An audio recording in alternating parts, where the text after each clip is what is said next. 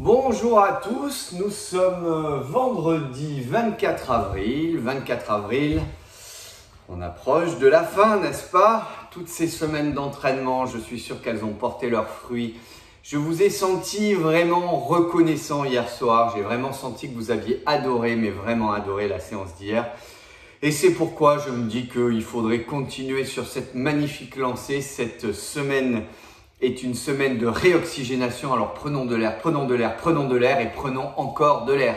C'est pourquoi aujourd'hui, non seulement nous allons prendre de l'air, mais nous allons prendre aussi de l'altitude. On va beaucoup sauter.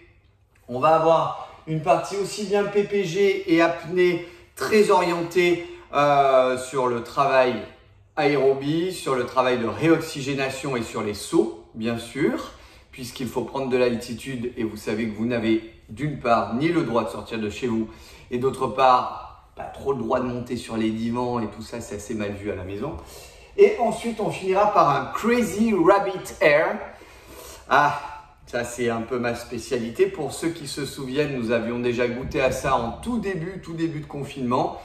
Eh bien, nous revoilà avec une très très belle euh, fin de séance aujourd'hui, le Crazy Rabbit Air.